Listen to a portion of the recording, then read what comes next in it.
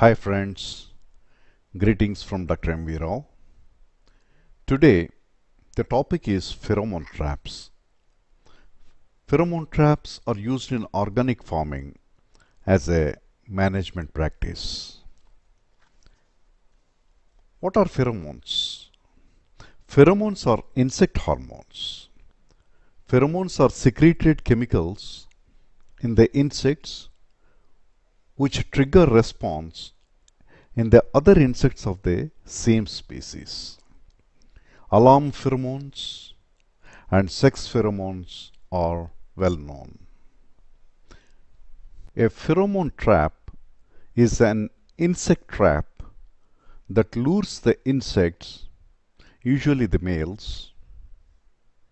A rubber septum impregnated with the pheromone is enclosed in a funnel trap. It attracts the insects and traps them. A pheromone trap is usually tied to a bamboo stick as shown here in the field. In this picture we can see a lot of insects trapped in the funnel say more than half of the funnel in our chili field. The lures of the pheromone trap attract the male insects and pheromone traps are used for trapping, identifying and counting the population of insects in agriculture. This picture shows the photo of the insect which was trapped in the pheromone trap.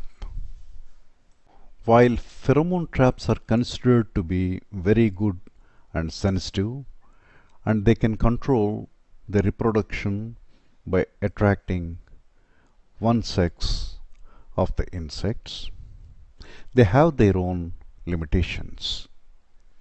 1. They are sensitive to weather conditions.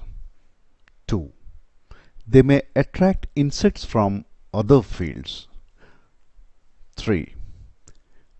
They attract only insects of one sex. 4. They attract only adult insects. So these pose practical problems to use them in the field. But since they are very effective and sensitive, they are used in almost every fields in organic farming. Please subscribe. Thank you.